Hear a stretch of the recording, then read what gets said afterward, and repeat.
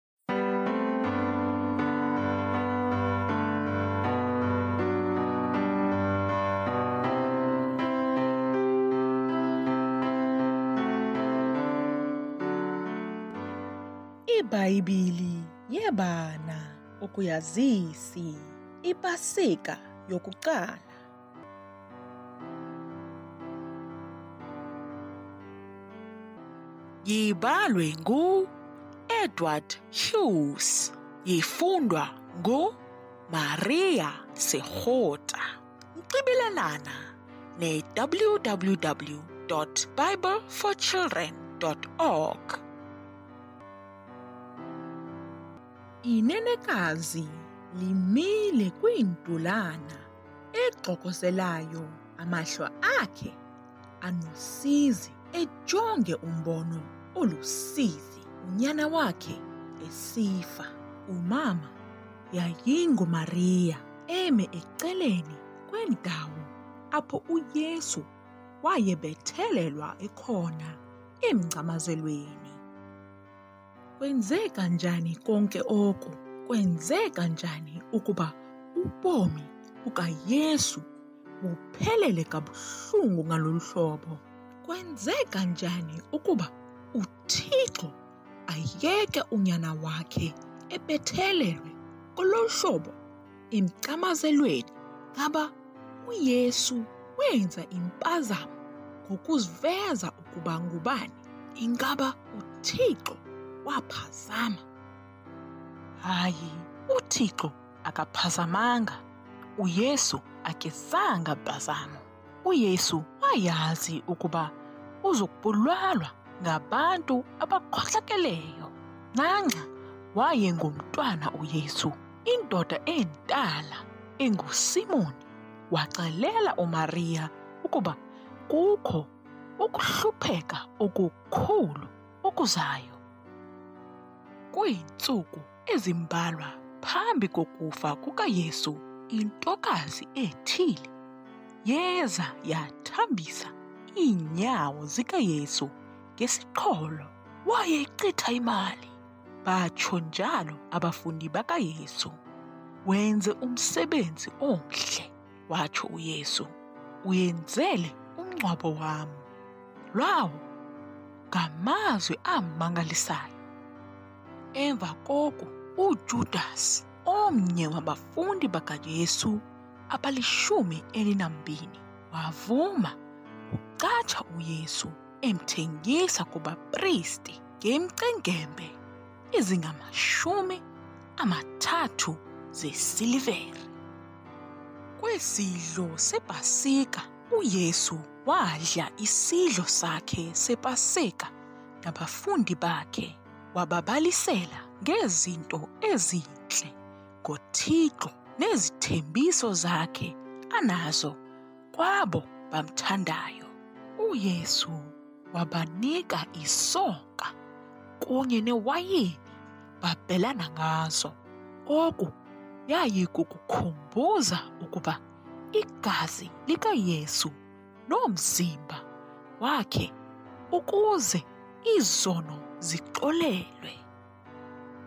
UYesu wazixelela izihlobo zakhe ukuba uza kucatshwa, bona baza kubhaleka. Soze ndibhaleke, uPetrosi watsho. Inkukhu ingekakhali kathathu uya kundikhanyela, watsho uYesu. Ngobo busuku uYesu waya kuthandaza entsimini yaseGetsemane. Abafundi bakhe abebakunye naye balala. Bawo wathandaza watsho uYesu, mayidlule le ndebe, kodwa kungabi yintando yam, kodwa ibe yeyakho. Ngesiqhuphe igquba labantu langena entsimini likhokelwe kuJudasi. UYesu akazanga ale, kodwa uPetrosi wanqumla indlebe yomnye. UYesu wayithatha, wayibuyisela, wamphilisa. UYesu wayeyazi ukuba ukubanjwa kwakhe kwakuyintando kaThixo. Indimbane yamthabatha uYesu yamsa endlwini yompristi omkhulu apho iinkokheli zamaYuda zathi uYesu makafe. Kufutshane apho uPetrosi wayemile ecaleni komlili wesichaka ebukele amathuba amathathu abantu bam Jonga uPitrosi besithi ubonye noYesu abathuba amathathu wayemkhanyela njengokuba uYesu watsho wada waqalekisa waze wathukisela ngeloxa inkukhu yakhonya yaba ngathi lilizwi likaThixo nguPitrosi. Ekhumbula amazwi kaYesu, uPitrosi walila kabuhlungu. UJudasi waba lusizi. Ayeyazi ukuba uYesu akanatyala kwaye engenasona santo. UJudasi wathabatha iinxekembe ezinganamashumi amathathu basibuyisela kubapristi, kodwa abazange bazithathe. UYudasi wayilahla phantsi imali, wemka, wazixhoma. Abapristi banzisa uYesu phambi koPilato, irhuluneli yakwaRoma. UPilato wathi, Andifumani sono kulo mntu, kodwa isihlwele sakhwaza mbethelele mbethelele ekugqibeleni upilato wanikezela waza wamgweba uyesu ukuba makabilwalwe axhonye emgqamlezweni amajoni amnqinda amchitshela ebusweni bamtyatyosa Benza umqhele okhohlakaleyo ngameva amade abukhali baze bawunyaselela iintloko kuye baza bambethelela emqhamlezweni womthi ukuze afe. UYesu wayesazi kakade ukuba uya kufa ngolohlobo. Wayesazi kananjalo ukuba kufa kwakhe kuya kusiza uxoleko lwezono kwabo babeki themba labo kuye. Izange ezimbini zazixhonyenga kuYesu, omnye wayekholelwa kuYesu. waya eparadesi omnye akazange emveni kweeyure zeentlupheko uyesu wathi kugqiyiwe umsebenzi wakhe wawugqityiwe izihlobo zakhe zamnqwaba kwinqwaba elilodwa. Amajoni amaRoma alitywina aze alilinda inqwaba, kungekho mntu okwaziyo ukungena okanye ukuphuma kulo. Ukuba yayisiphelo sebali esi, kwakuya kuba lusizi olunjani! Kodwa uThixo wenza into emangalisayo. UYesu zamke ahlala efile. Ekuseni nomhla wokuqala weveki, abanye kubafundi bakaYesu bafumana ilitye lingechiwe lisusiwe engcwabeni. Bathi bakujonga ngaphakathi bafika engasekho apho. Omnye umfazi owasalayo elinda ngasengqibeni uYesu wabonakala kuye.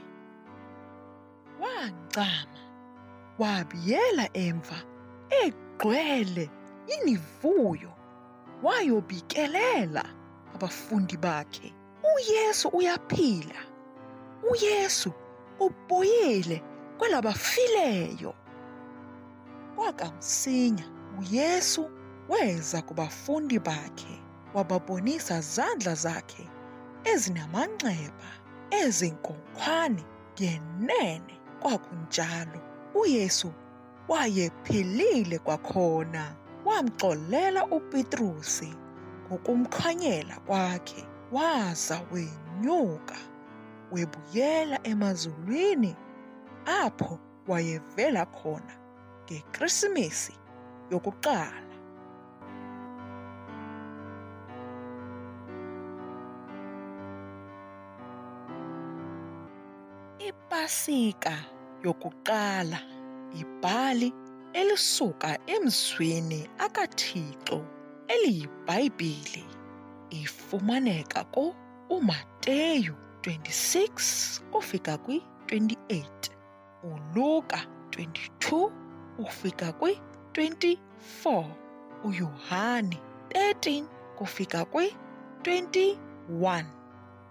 Ukutyelwa kwamazi akho kuyakhanyisa. Indumiso 119 verse 130. UThixo uyayazi ukuba senze izinto ezimbi. Asibiza ngokubona sisono. Umvuzo wesono kukufa. Kodwa uThixo uyakuthanda kanokuba uthembele unyana wakhe ukuphela kwakhe uYesu ukuba afe emgcwalezeni ngohlayiwe ngezono zethu. UYesu wavuka ekufeni wabuya wanyukela emazulwini ukuba uyokholwa uYesu umchela akuba akuxelele izono zakho ukuba uyakholwa ukuba le yinaniso yithi kuThixo Nkosi Yesu ndiyakholwa ukuba ngukuThixo kwaye weza waba ngumntu ukufela amatyala am wabuye waphila kwakhona nceda ungene ebhomini bami undixolele izono zam ukuze ndibe nobomu obutsha ukuze ngenye imini ndihambe ndiyokuba nawe ngonaphakade Ndincede ndikuthobele ze ndiphilele wena njengomntwana wakho. Amen. Funda iBhayibhile uthethe noXwitho yonke imihla.